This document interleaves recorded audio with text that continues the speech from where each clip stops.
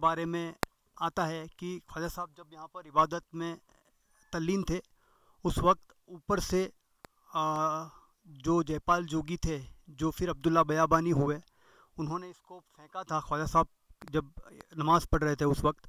तो ख्वाजा साहब के घोड़े ने और आपकी उंगलियों ने दो उंगलियों की टेक ने और एक आपके घोड़े का जो चाबुक था उससे और घोड़े का जो ये घुटना होता है उससे इस पत्थर को रोक दिया गया और ये पत्थर ऐसा लटका हुआ सा दिखता है। तो यहाँ पर जो पैदल तारागढ़ ऊपर जाते हैं, ऊपर जो मज़ार हज़रत शाह हुसैन रहमतुल्लाह का तो वो वहाँ पर रास्ते में इस पत्थर की भी ज़्यारत करते हैं।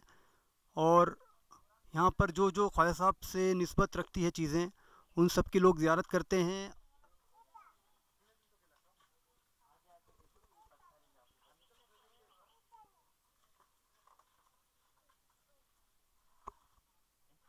आज भी सरकार की इसमें दो उंगली के निशान हैं, जो लोग अकीदत से पैदल तारागढ़ पहाड़ पे चढ़ते हैं या उतरते हैं।